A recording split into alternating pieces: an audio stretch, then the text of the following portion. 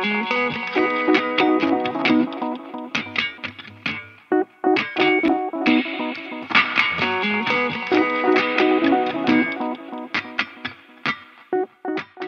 eu fosse escolher mesmo uma coisa que eu queria fazer, ia ser cinema, a primeira coisa, assim. Só que era uma coisa tão distante.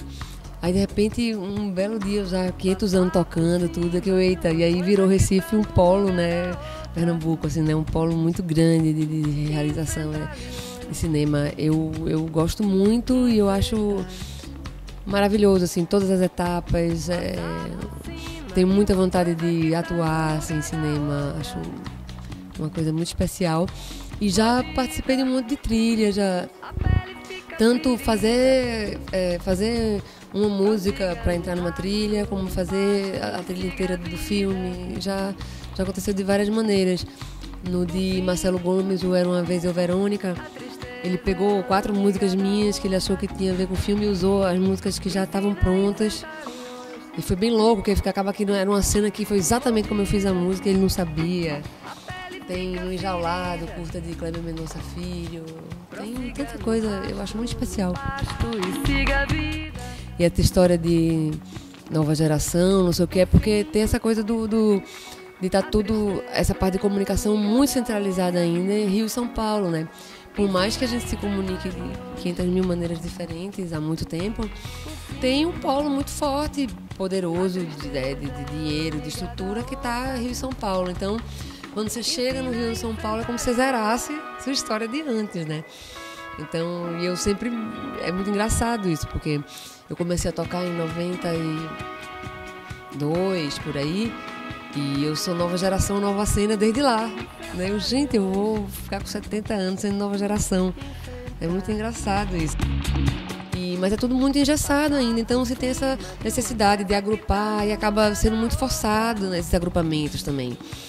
É, as pessoas são agrupadas, elas não têm nada a ver uma com a outra, cada uma tem o seu trabalho autoral, cada uma faz uma coisa e elas são agrupadas, né? As cantoras, as cantoras, coitadas, aí é que fodeu. Cantora bota tudo no mesmo balaio, pode cantar o que for, é mulher, bota tudo num balaio só. Mas tem umas coisas muito forçadas de, de agrupamentos que não são reais, mas que a, a mídia musical, nessa né, coisa, esse mercado que move precisa disso. Então, mas são coisas que não são reais. Eu acho que se que se cria muito, muito, tem muita música nova no Brasil sempre, muito boa em todo lugar. Mas aí naturalmente é, um, pedaço pequeno vai aparecer mais, né? É, e o ponto está justamente aí, nessa coisa de ser como se mulher fosse a parte, né? O normal fosse ser homem e mulher fosse uma coisa muito exótica, muito diferente, muito, né? E aí é uma loucura isso, né? Você é, a vida toda é isso, na verdade. Essa coisa do feminismo é, na verdade, para não precisar mais ter, né? A ideia é bater nessa tecla até não precisar mais bater, tem um saco, né? Sempre fez, ah, você adora falar sobre isso. Não adoro, não, queria não precisar falar de nada, que já tivesse resolvido. Né? Tem que falar porque tem que falar, eu quero que acabe isso, que não precise falar. Mas enquanto tem, tem que ficar enchendo o saco, batendo na tecla, é insuportável. Tem muita. É, e essa coisa de qualquer tipo de militância tem muito conflito né, dentro dela também, não é tudo mar de rosa, né? São muitos pensamentos diferentes, as experiências das pessoas são muito diferentes. Então, às vezes você está falando uma coisa pensando naquilo que você viveu, a outra está ali rebatendo, sendo que ela está rebatendo com o que ela viveu, e vocês estão falando de coisas diferentes. E, é, mas é isso, aí vai construindo e vai crescendo. Tem uma coisa maravilhosa que está rolando há um tempo já, né? É, está virando uma coisa muito. alcançando uma, né, uma coisa que nunca. eu nunca imaginei que isso fosse rolar. É, é sempre para mim foi uma coisa muito solitária e que tinha umas coisas que eu via né, ali grupos e tal. E cada vez mais isso é uma coisa que faz parte da vida de todo mundo, né? Toda menina fala disso, é uma coisa. É, e aí todo mundo é obrigado a falar também, né? Porque tá lá todo mundo. É bom demais, eu gosto. Tem, tem uma diferença muito grande, mas mesmo assim, né? É uma coisa. É, ainda existe muito isso. Um lugar que é considerado ideal e que é receptivo para a mulher é o de cantar. Né? Como se ela, o lugar dela fosse ali e as coisas vão levar. É muito natural, por isso tem tanta mulher cantando, né? Simplesmente ah, a mulher adora cantar, né?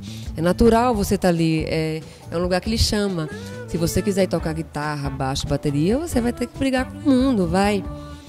Né? Então, assim, ah, pode, não é proibido. Tá, não é proibido, mas não é convidativo, né? É, não tem uma, Não tem uma coisa que, que lhe instigue a fazer aquilo. Quando eu comecei a tocar a percussão mesmo, era bem difícil. Eu deixei de tocar em um monte de lugar, e nos lugares que eu tocava, muitos deles eram uma dificuldade, era uma dificuldade muito grande com isso, porque não tinha essa coisa tranquila, tudo é muita briga, e nessa briga tem hora que vocês né? Deixa o saco de brigar. Então muita mulher deixa de fazer, porque não tá afim, quer só chegar lá e, e tocar e pronto. Mas um dia vai. É uma tragédia a gente ficar sem Ministério da Cultura, né? Eu não consegui entrar nessa nessa onda específica do Fica Mink e tal, porque para mim é tão grave é, essa configuração de golpe mesmo que está acontecendo que para mim não fez sentido ir lutar pelo Mink. Para mim, não quero pedir nada para esse governo, eu não reconheço esse governo, então para mim não faz sentido pedir para esse governo que volte com o Mink. Né? Agora é uma tristeza, porque o que tinha tinha muito que. Perdi a caneta. Tinha muito que melhorar, tinha muita coisa para ser, né? Mas era, era incrível já, né? A gente não tinha isso. Então começou até o Ministério da Cultura com o Gilberto Gil, da Juca Ferreira fez um trabalho muito, muito bom, é, abrangente, né? Uma coisa que saiu, uma coisa que tentou espalhar e conseguiu muitas vezes muito bem, né? E é uma coisa muito ampla, né? Aí como, como a gente tem essa coisa de comunicação muito rasa, muitas vezes, fica essa ignorância, né? De falar em MIC como se MIC fosse Lei Rouanet, né? É, a Lei Rouanet é uma coisa, né? Ali dentro, uma coisa que, que não é tão abrangente de maneira alguma, né? Tem muita coisa importante, trabalho com, com comunidade remanescente de quilombo, trabalho com comunidade indígena, é, tem muita coisa muito importante que vai lá onde o Ministério da Cultura precisa ir realmente, né?